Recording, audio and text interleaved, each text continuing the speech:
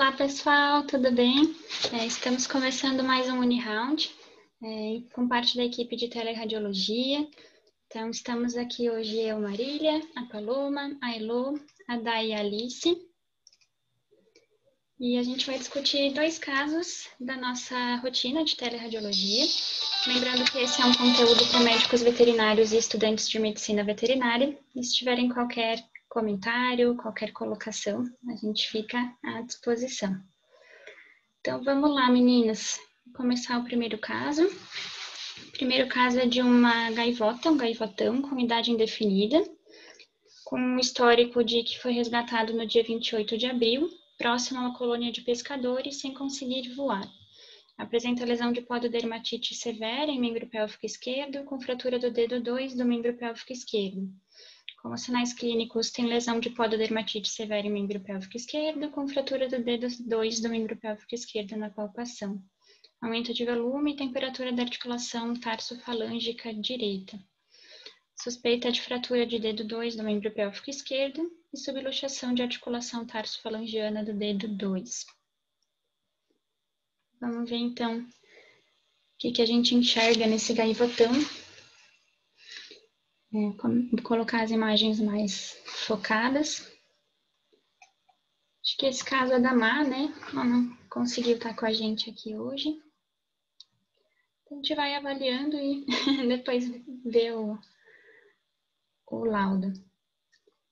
Alguém quer ir falando comigo aqui as alterações? Preferem já ir para o laudo? Vou estar mais focada aqui.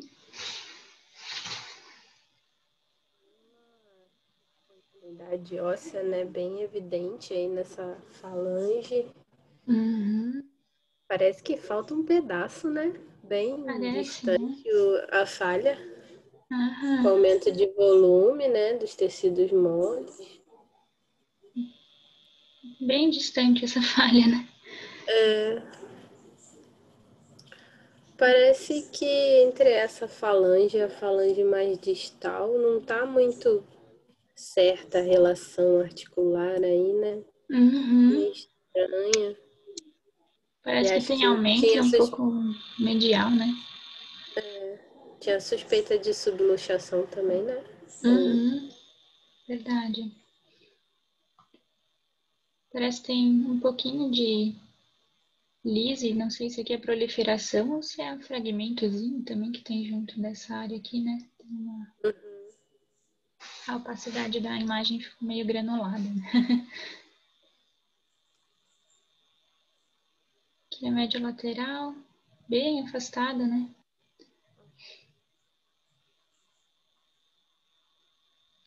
As mesmas alterações, né? Por essa já parece que tem luxação, né? Tá bem uhum. distante uma falange da outra. Bem distante. E deslocada, né? Uma mais dorsal aqui, né? E aqui do membro direito, membro contralateral.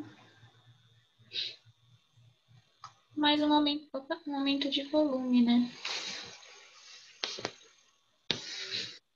De tecido mole.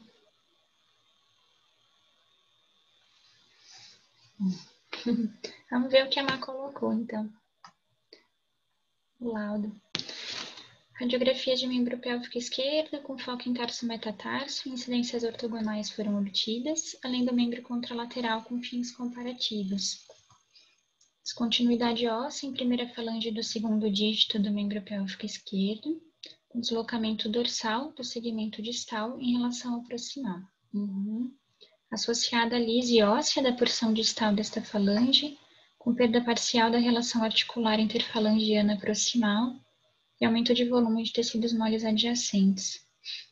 Acho que bem dentro do que a gente viu também, né? É, aumento de volume de tecidos moles adjacente à porção distal de tarso metatarso direito e proximal dos dígitos do membro pélvico direito. Outras estruturas musculoesqueléticas visibilizadas dentro da normalidade. Acho que é isso, né? Vocês veem mais alguma coisa? Ou descreveriam diferente? Acho que talvez eu só colocaria a perda total da relação articular, né? Pela. Por essa é, aqui. Né? Por essa daí, isso. Uhum. A gente fica em dúvida se é tanta perda óssea, se já é perda da relação, né? Tá. É. Confuso. Opa. Perda da relação articular que encaixa bem, né? Que é, seja uma perda total, né? É, vamos ver a impressão, então. Fratura patológica de primeira falange do segundo dígito do membro pélvico esquerdo e subluxação da articulação interfalangiana proximal do mesmo dígito, com edema local, possivelmente secundários à osteomielite, de acordo com o histórico de pododermatite severa do paciente. Aqui talvez desse para falar em luxação mesmo, né? Uhum.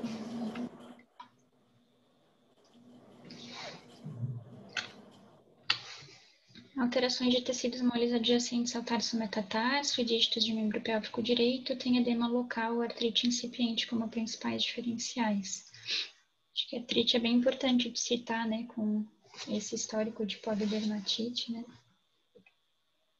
É, tem uma colocação que a Elo trouxe para a gente, que eu acho que é interessante a gente já falar, que é de um diferencial para essa área, que seria de, de sequestro ósseo.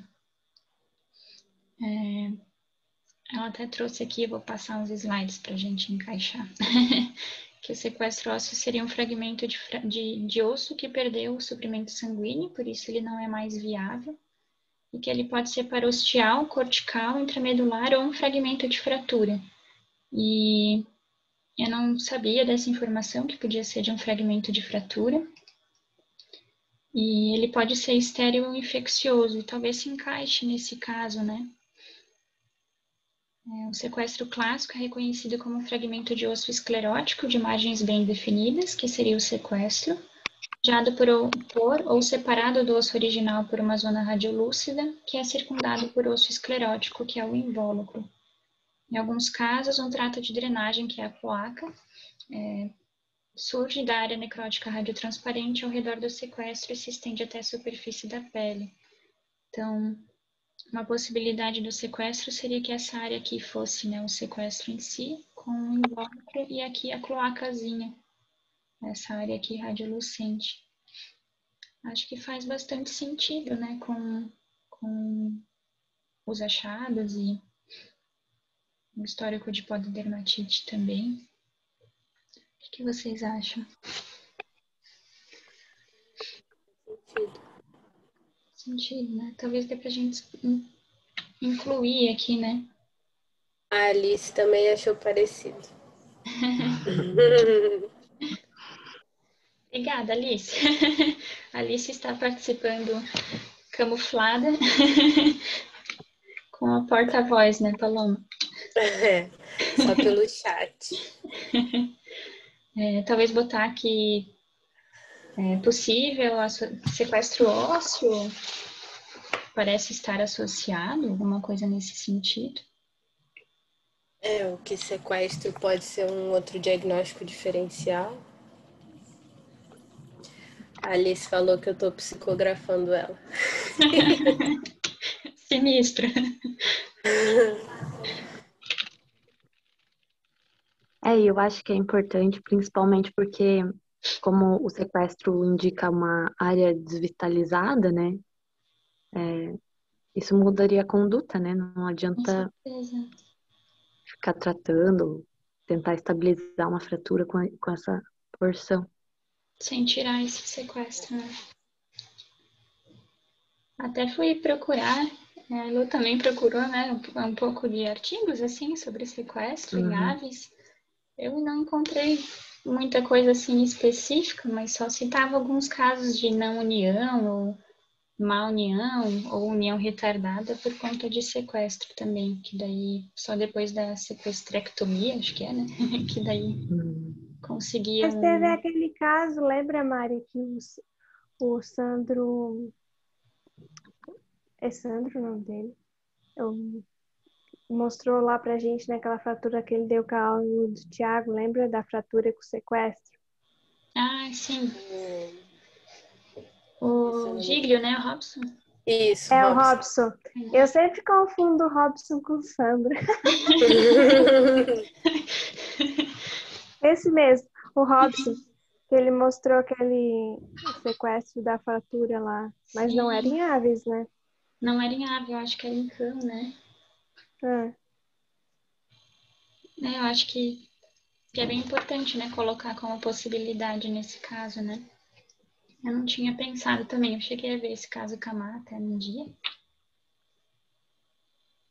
E acho que é bem importante lembrar dele, né? Porque a gente via mais em grandes, né? E não costumo não costumo ver assim tão frequente em pequenos e exóticos também. Então, foi indicado aqui citologia ópsi- ah, óssea ou biópsia e cultura da primeira falange do segundo dígito do membro pélvico esquerdo para elucidação diagnóstica e controle radiográfico do tarso metatarso direito para acompanhamento das alterações. É, De qualquer forma, a cito e biópsia vai ser importante, né? E o controle do tarso metatarso direito também, para ver se progride, né? Talvez até uma avaliação de líquido sinovial ali do tarso metatarso ali também seja interessante, né? O que vocês acham? Pensando no, numa artrite já começando. Ou não precisaria tudo isso? Será que dá para coletar? Eu não sei também. Fazer uma cita desse tecido mole aqui. Não sei se viria informação também. É tão pequenininha, né? É, mas dá vontade, né, de funcionar esse aumento de volume para ver se é. Mas não sei também se seria elucidativo, não. Falar com um clínico, com o clínico, para ver se faz sentido. Alguém de Silvestres para ajudar a gente. É. com o gaivotão. Vocês colocariam algo diferente, meninas? Concordam?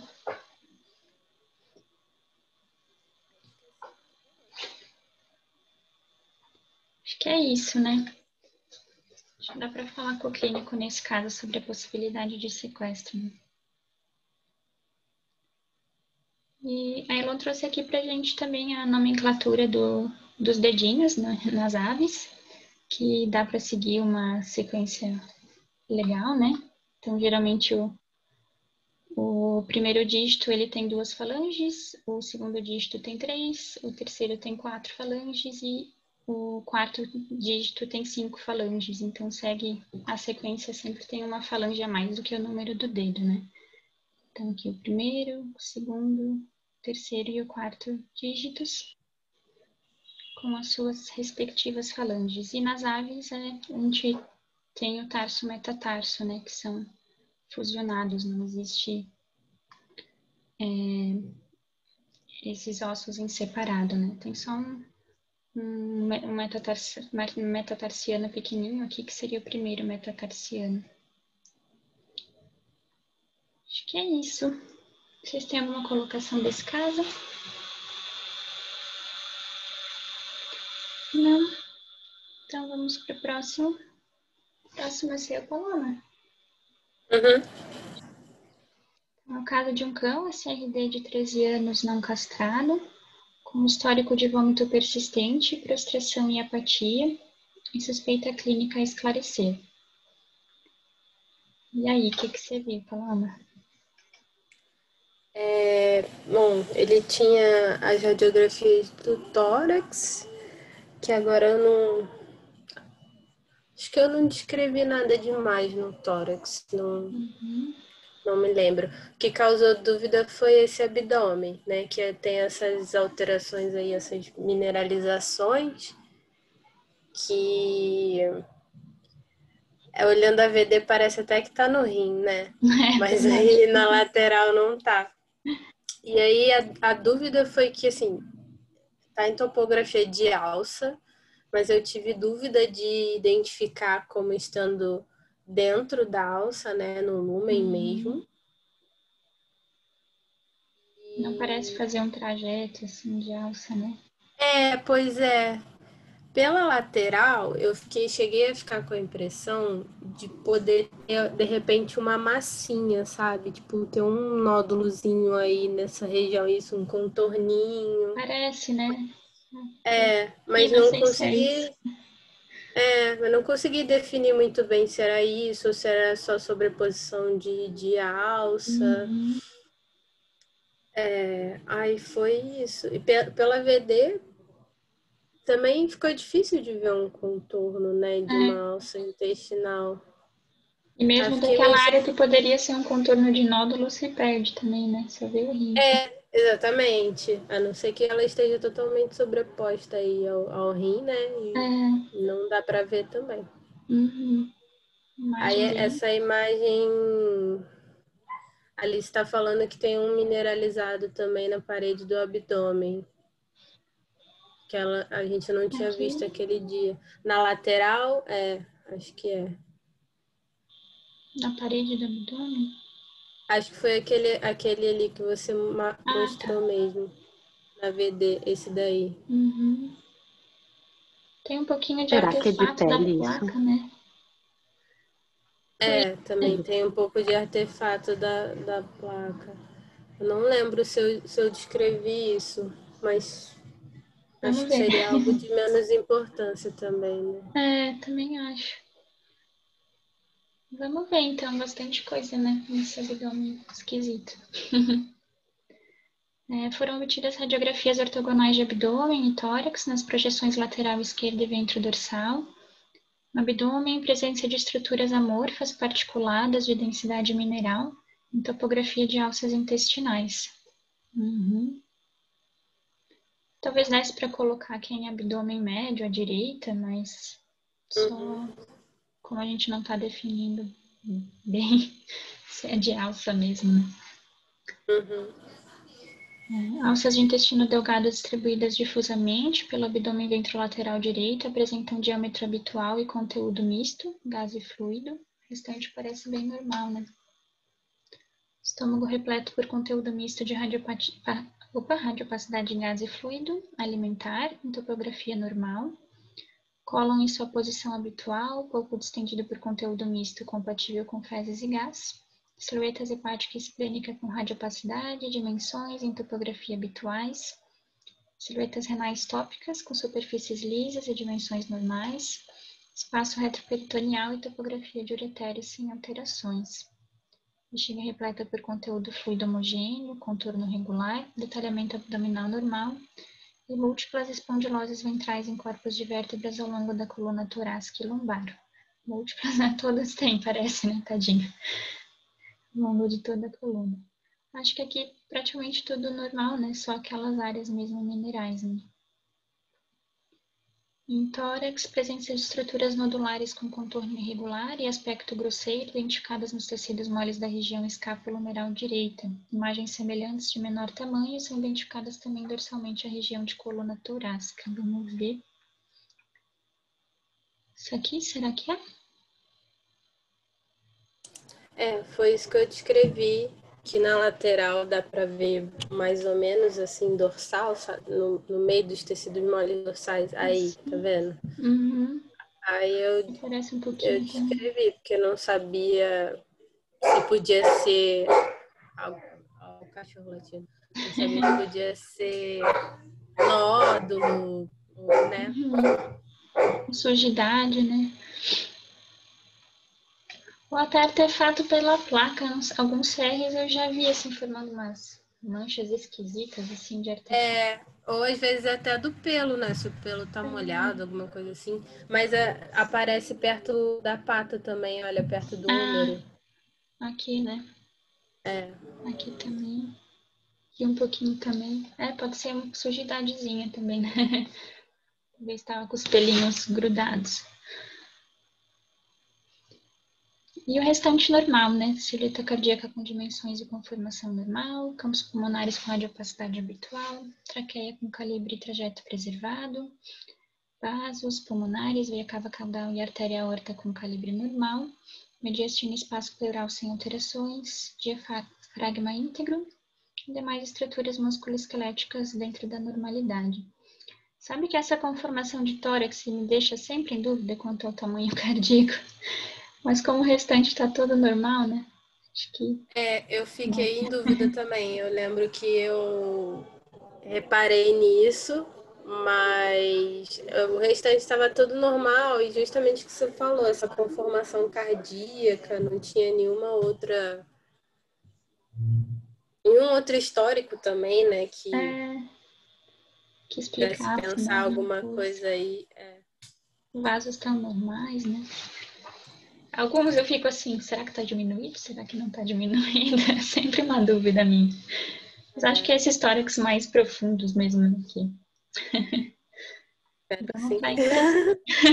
Deve ser. Vamos para a impressão, então.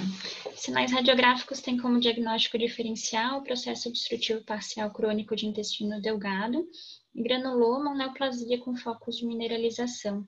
Recomendo ultrassonografia abdominal para avaliação complementar. Acho que os diferenciais são bem. Acho que eu colocaria da mesma forma. É... Aquela imagem lateral que me deixou encucada, que também fiquei em dúvida se pode ter uma massa ou, sei lá, da própria alça, às vezes, formando, né? Mas acho que... É, foi isso que eu pensei, como se fosse uma massa, assim, da, da própria alça. Né? A Alice está comentando aqui que abscesso pode ter mineralizações também. Às vezes uhum. cabe como diferencial. Abscesso crônico, né? Acho que, acho que vale colocar é, granuloma. O que vocês acham? Abscesso neoplasia. Uhum. Vale, como a gente não sabe, né? Tá difícil definir. tipo uma massa X, né? É. é, eu acho que eu concordo com o ultrassom daí para avaliar se pode ter mesmo uma massa ali, né? Ou algum outro sinal. A gente não vê mais nenhum sinal de processo obstrutivo, né? Assim, geralmente quando a gente vê esse sinal de cascalho, a gente observa alguma coisinha a mais, não, não tem nesse caso, né? Mas fica a dúvida. Dai, Alice, Lu, vocês pensam mais alguma coisa? Além...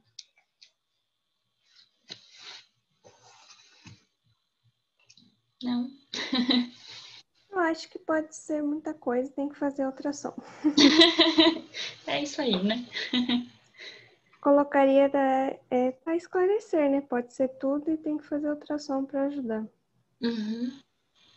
É, não vai dar para concluir, né? Só pelo raio-x, né?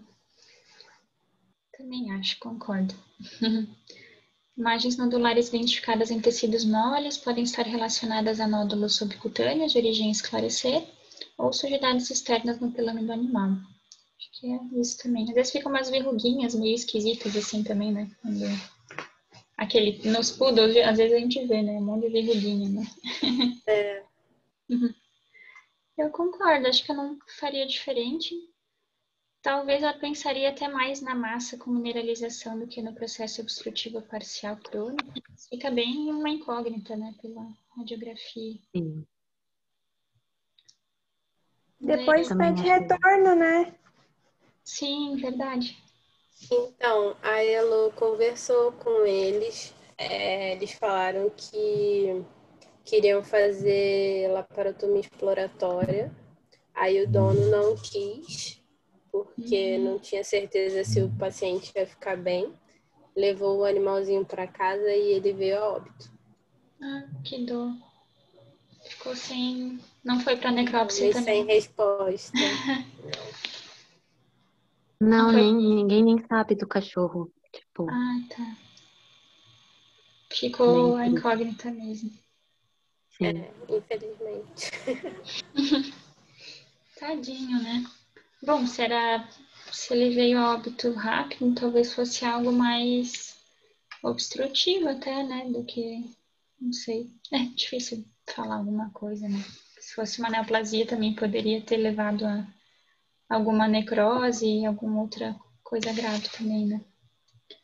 Eu acho que se fosse obstrutivo, assim, é, que levasse a óbito, a gente, não sei, posso estar muito enganada.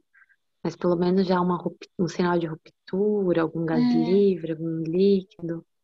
Porque... Ou algo mais. É, ou alça mais dilatada. Né? É, algum milho mecânico mesmo, né? Que não tem sinal. Ele morreu de respiratório.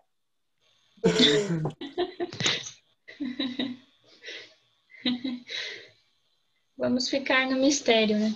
É. A ela trouxe aqui para a gente né, um pouco sobre o sinal de cascaia, né, que seria a primeira opção ali de processo obstrutivo parcial crônico. Então, obstruções distais parciais de longa data resultam no acúmulo de material granular opaco próximo ao local da obstrução. A dessecação da ingesta que fica presa proximal à obstrução. Então, vai é, mineralizando, ressecando mesmo né, aquela ingesta e fica com um aspecto granular né, e mineralizado. Que coisa, né? Vamos ficar na curiosidade. É, a única coisa, talvez, agora que eu pensei que nada demais para o caso dele, coitado, ainda mais que a gente já sabe o final, mas talvez desse para botar das espondilopatias, como tem muitas e tem lombosacra também, na, na conclusão, assim, mas coitado, né? Não faria muita diferença para ele. É, acho que eu não dei muita atenção para elas porque o histórico não, não era, né, de dificuldade de andar, essas coisas assim. Aí eu só descrevi. Quem é o gatinho? É Ariel. que fofa. É, só para acrescentar, mas não vai fazer diferença no quadro dele mesmo. Quando tem lombosacra... É ela, Paloma. Daqui a pouco eu tento pegar ela, ela vai fugir. Não é assim, né? Não. Bom, acho que é isso, meninas. Vocês têm alguma colocação nesse caso? Agora a gente já sabe. Que dó que a gente não conseguiu fechar esse caso, né? É, que dó mesmo. Fiquei bem colocada com essa área aqui, né? Bem. E, é, que fosse algo a mais. É, o que que ele veio mesmo que eu já esqueci de tanta informação? Vômito, prostração e apatia. Pois é, podia ter a ver com isso aí então, né? Uhum. Não, ficamos sem sem conclusão, né? Deixa eu ver isso aí. É, é porque tá bem específico, né? Uhum. Nessa imagem parece muito renal, né? Se viesse só essa imagem pra gente. Pois é, foi a primeira que eu olhei, eu falei, ah, legal, tá. Tem mineralização no rim, aí veio a lateral. Isso é bom para ficar o lembrete para as pessoas sempre fazerem as duas projeções, porque a gente precisa complementar uma com a outra. Com certeza, faz muita diferença, né? então é, é isso, mas né? eu acho que pode ser mesmo o primeiro diagnóstico diferencial da Paloma que esteja em alça mesmo, porque está muito distribuída, né? Uhum. É, não tá assim focal só, né, pra, pra ser uma. É, tá muito amorfo, assim, né? É. Bem esquisito mesmo. Que dó. Que dó, é. Ficar no, no mistério. Bom, é isso então, meninas. Obrigada. Se alguém tiver mais alguma colocação,